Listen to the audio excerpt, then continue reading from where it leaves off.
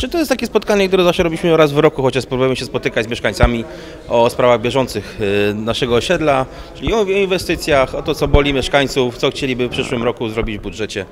Takie spotkanie na, na, na roboczo, które my, my możemy luźno porozmawiać z burmistrzem, z przedstawicielem policji i Urzędu Miasta. Chcielibyśmy zrobić przejście z ulicy Grunwaldzkiej na Świerkową, dlatego że tam te obecnie jest bardzo duży ruch i obok ścięcie e, z boku Świerkowej jest krzew, który mm, on zasłania.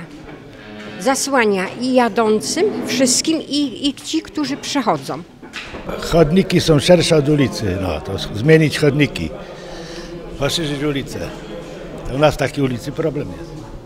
No myślę, że na pewno było pouczające.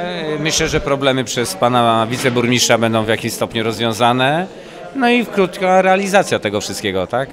A jakby Pan mógł jeszcze opowiedzieć w trzech, dosłownie w trzech zdaniach od początku, na czym polega ten problem z, z tym śmietniskiem koło sali karate? E, Koło sali karate, no tak jak wspomniałem wcześniej, nurtuje mnie ten problem już od jakiegoś czasu. No byłem tolerancyjny, tak mów- wspomniałem wcześniej, podchodzę do każdej sprawy zdroworozsądkowo, bo każdy z nas kiedyś był młodszy, tak?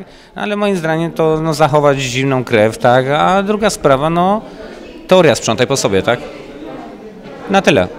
Jeszcze brakuje mi takiego słowa wstępu. Co tam się dzieje, tak? Mm, Co tam się dzieje? No jest spożywanie na pewno w godzinach nocnych alkoholu, tak, no bo to jest nieuniknione. Świadczy to o tym totalny bałagan, który jest kolejnego dnia.